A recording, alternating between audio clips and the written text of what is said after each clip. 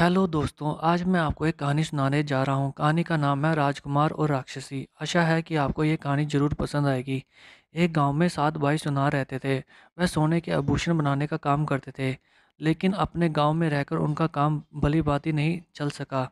सारा दिन खूब परिश्रम करते, फिर भी बड़ी कठिनाई से पेट का गुजारा कर पाते। आखिरकार उन्होंने गाँव छोड़कर किसी दूसरे स्थान पर रोजी-रोटी कमाने का विचार किया। एक दिन सातों भाई अपना सारा सामान उठाकर चल पड़े। वह दो चार दिन तक यात्रा करते रहे, लेकिन उन्हें कहीं भी काम नहीं मिला। चलते-चलते वह काफ़ी दूर निकल गए। एक दिन उन्होंने एक जंगल के किनारे एकांत में एक मकान दिखाई दिया। शाम होने वाली थी, अतः उन्होंने वही ठहरने का निश्चय किया। घर के लोगों को जब पता चला कि ये लोग आभूषण बनाने का काम करते हैं, तो तो उन्होंने भी उनसे कुछ आभूषण बनाने की बात की। अतः सुनारों ने कुछ दिन ठहर कर काम करने की सोची।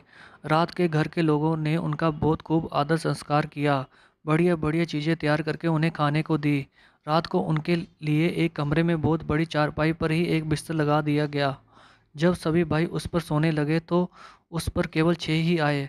अतः सातवां भाई ज़मीन पर बिस्तर लगाकर सो गया। चारपाई के पास ही एक बकरी बंधी हुई थी। वास्तव में ये घर राक्षसों का था और बकरी एक भयंकर राक्षसी थी, जो बकरी का वेश धारण करके वहाँ बैठी थी। रात को जब सभी सुनार गहरी निंद्रा में सो गए तो बकरी ने ज़मीन पर सोए हुए सुनार के पैरों को तलवे धीरे धीरे चाटना आरंभ कर दिया। उसे चाट चाट कर सुनार के शरीर का सारा खून चूस लिया। थोड़ी देर में सुनार के सोए सोए ही प्राण चले गए। बकरी ने एकदम स्त्री का रूप धारण कर लिया और अपने भाइयों को सूचित कर लिया।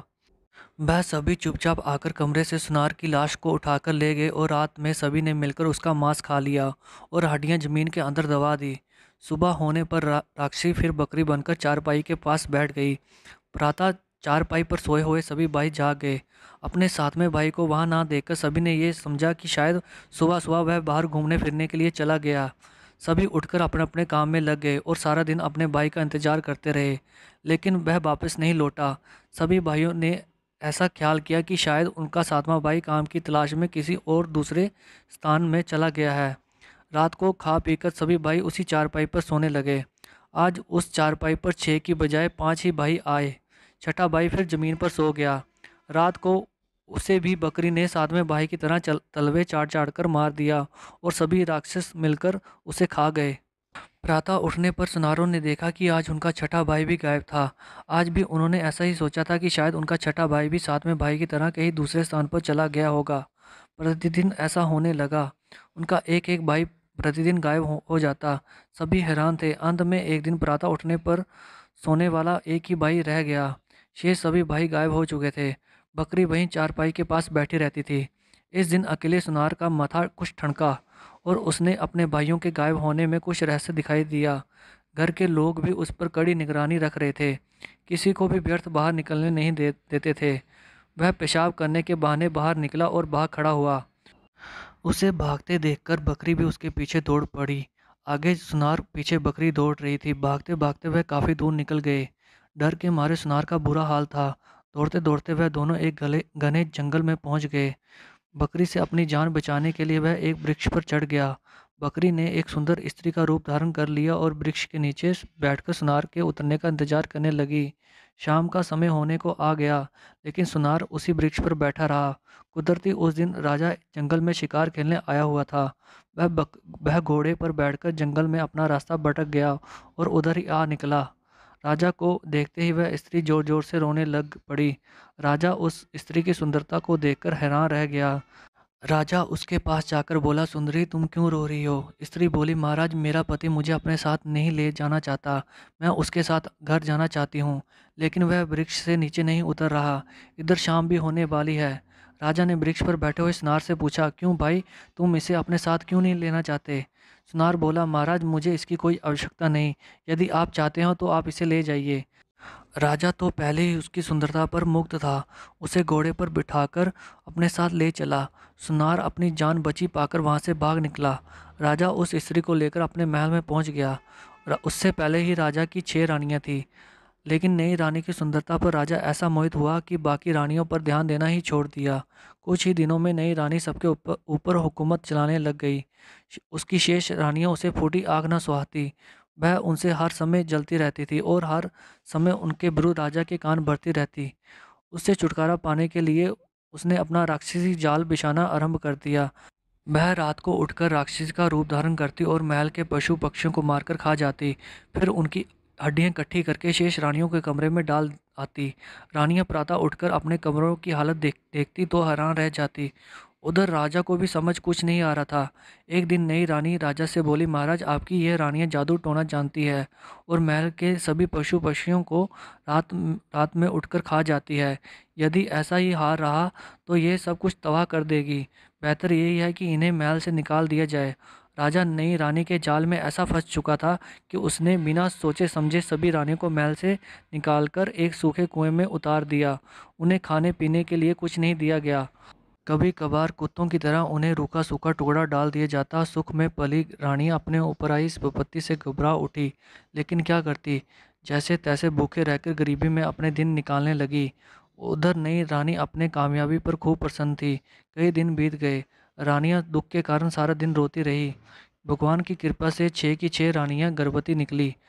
आखिर एक दिन ऐसा भी आ गया कि उनके पुत्र होने को आ गए। समस्या थी कि भूखे पेट आने वाले बच्चों का पालन कैसे किया जाए। एक दिन बड़ी रानी ने एक बच्चे को जन्म दे दिया लेकिन भूखा पे, पेट क्या पाप नहीं करता। भूख के कारण सभी रानियाँ व्याकुल थी। उन्हें खाने को कुछ भी नहीं मिल रहा था।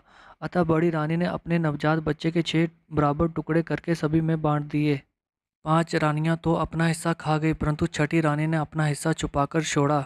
इसी तरह सभी रानियों के बारी बारी पुत्र प्राप्त हुए और भूख के कारण उन सबको खा गई। छठी रानी सभी हिस्सों को छुपाकर रख लेती। जब उस, उसको भी लड़का हुआ तो बाकी रानियों ने भी उससे अपना हिस्सा मांगने लगी। उसने छुपाए हुए हिस्से को उन सभी को वापस कर दिए और अपने पुत्र को जी जान से पालन पोषण करने लगी। बच्चे को देखकर शेष रानिया की ममता भी उमड़ पड़ी और वह उसका पालन पोषण करने में जुट गई। कभी कभार जो कुछ भी मिल जाता तो उसे भी थोड़ा थोड़ा करके बचा लेती और बच्चे को खिलाती रहती। बच्चे के सहारे ना किसी ना किसी तरह उनके दिल कटने लगे। सभी उसे अपना बच्चा सम, समझकर प्यार करती। धीरे धीरे बालक बड़ा होने लगा और चलना सीखने लगा। ज्यों ज्यो वह बड़ा होता गया तो वह कुएँ से बाहर भी निकलने लगा। बाज़ार में वह जाकर इधर उधर घूमता। लोग उस सुंदर बालक को देखकर मोहित हो जाते। सभी उसे प्यार से अपने पास बुलाते, खाने को मिठाइयाँ देते। बाज़ार के लड़के भी उसके साथ खूब खेलते। हर रोज़ नई नई खेले खेल निकालता। शाम को अपनी माताओं के पास आ जाता। साथ लाई हुई मिठाइयाँ सभी माताओं में बांट देता। इसी तरह छोटे होते वह सभी माताओं का सहारा बन चुका था। धीरे धीरे वह कुछ समझने लगा था। वह नई रानी की चलाकी को भी समझ चुका था, जिसके कारण उसकी सभी माताएँ गरीबी और दुख के दिन काट रही थी। मन ही मन उन्हें, वह नई रानी को नसीहत देने की योजना बना रहा था। जब वह दस बारह साल का हो गया तो उसे लकड़ी का एक सुंदर घोड़ा तैयार किया। घोड़ा बासवी घोड़े की तरह ही दिखाई देता था।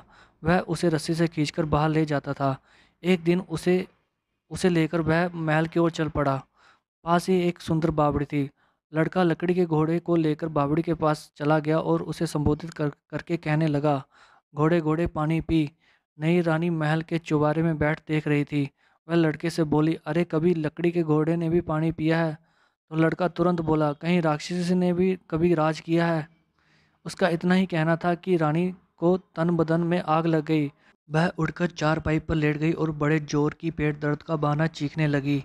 राजा को खबर की गई बेद हकीम इकट्ठे हो गए। जितना इलाज किया जाता उतनी ही दर्द बढ़ती जाती। ऐसे लगने लगा कि रानी अब मरी की मरी। सारे दर, दरबारी और अन्य लोग इकट्ठा हो गए। किसी को समझ में कुछ नहीं आ रहा था। राजा भी घबरा गया। वह रानी से बोला क्या तुम्हें पहले भी कभी ऐसी दर्द हुई है? रानी बोली हाँ महाराज जब मैं अपने मायके में थी तब मुझे एक दो बारी ऐसी दर्द हुई थी। राजा बोला तो दवाई का तुम्हें पता होगा ही। रानी बोली हाँ दवाई का तो पता है, वह मेरे मायके से ही मिल सकती है, लेकिन उसे एक ही व्यक्ति ला सकता है। यदि बाज़ार में घूमने वाला, लकड़ी के घोड़े वाला लड़का उसे लाने के लिए तैयार हो जाए तो मेरी जान बच सकती है। राजा बोला, यह तो बड़ी मामूली सी बात है, अभी मैं उसे बुलाता हूँ। राजा ने सिपाही भेजकर लड़के को बुला लिया और उसे दवाई लेने के लिए पूछा। लड़का तैयार हो गया।